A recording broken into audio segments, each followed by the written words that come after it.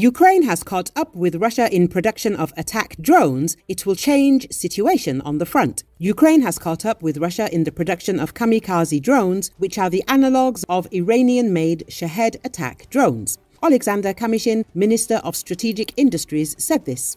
Kamyshin said that the Ukrainian drones are similar to the Iranian ones in terms of the amount of explosives they carry, range, and other technical parameters. As of this year, our capabilities to produce such drones are as high as Russia's, he said.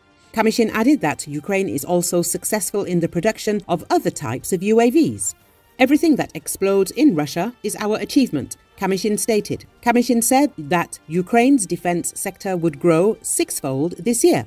In total, 500 military industrial companies are currently active in Ukraine. Of these, 100 are state companies and 400 are private ones.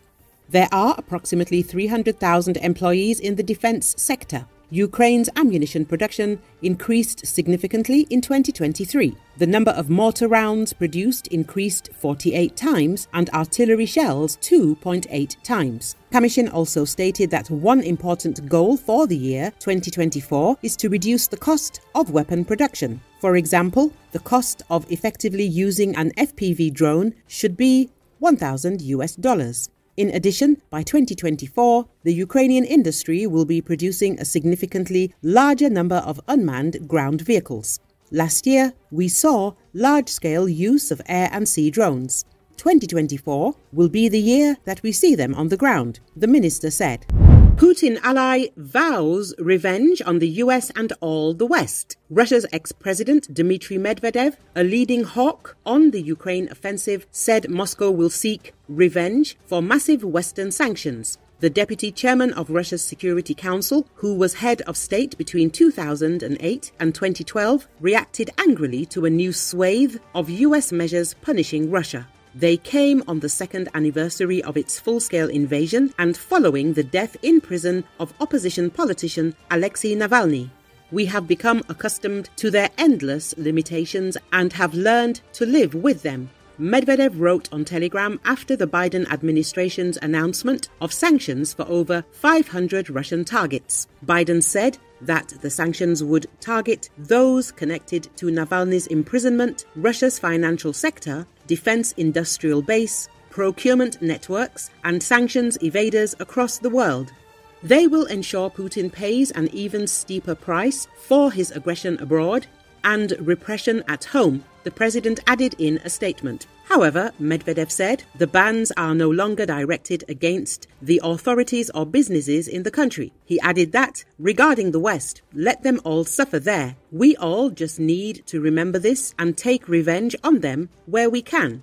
His post described creating ructions for the West economically and undermining its political system without referring to the nuclear threats against Ukraine's allies that he has made numerous times recently. Putin has Parkinson's and there is something wrong with him. Ex MI6 boss Richard Dearlove, who ran Britain's spy agency between 1999 and 2004 as Putin first became leader of Russia, told LBC his contacts believe the autocrat's illness could be behind his paranoia. It comes after Kremlin arch-enemy Alexei Navalny died at an Arctic prison colony as many held Putin responsible. Speculation about the president's health has gone on for years thanks to images of him holding meetings at a long distance over a comically huge table or trembling during interviews, according to LBC media outlet. I have contacts, friends, still in Eastern Europe, who think that there is something fundamentally wrong with him medically. Sir Richard told LBC, but I'm not a clinician. Probably Parkinson's, which of course has different representations, different variations, different seriousness. But if the man is paranoid, and I think the murder of Navalny might suggest a certain paranoia, this is one of the symptoms.